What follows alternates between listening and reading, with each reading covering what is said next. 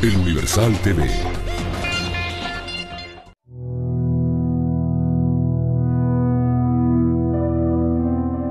El escritor chiapaneco Heraclio Cepeda Ramos murió este jueves a los 78 años víctima de un paro respiratorio.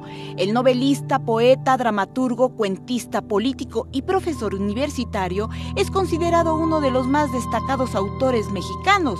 Además formó parte de la Academia Mexicana de la Lengua. En 2014, el Senado de la República le otorgó la medalla Belisario Domínguez y a lo largo de su vida recibió diversos premios por sus obras literarias.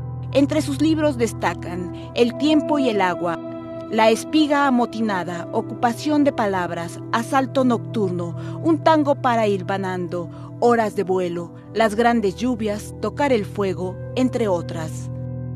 A través de su cuenta en Twitter, el presidente Enrique Peña Nieto escribió, un reconocimiento a un gran hombre de bien. He dado indicaciones al titular de Conaculta, Rafael Tobar de Teresa, para rendirle un merecido homenaje.